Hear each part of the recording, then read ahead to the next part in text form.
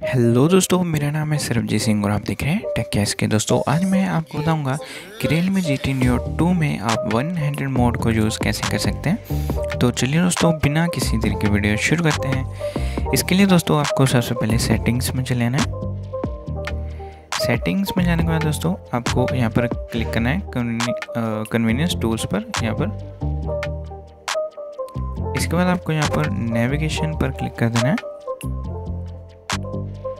और अब आप यहाँ पर देखते हैं pull down to enter one hundred mode यहाँ से हम इसे ऑन कर देंगे। और ऑन करने के बाद अब मैं आपको बता दूँ इसे कैसे हमें यूज़ करना है। तो दोस्तों, इसे हमें यूज़ करने के लिए ये जो बटन होता है, ये वाला,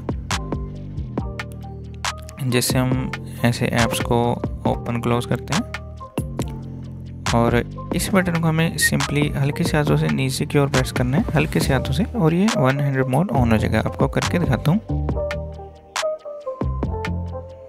हम देखते हैं। वन हंड्रेड मोड ऑन हो चुका है। और साइड में ये जो एरोस है, यहाँ पर, इस पर क्लिक करेंगे तो ये ऑफ़ हो जाएगा। देखते हैं ऑफ़ हो गया।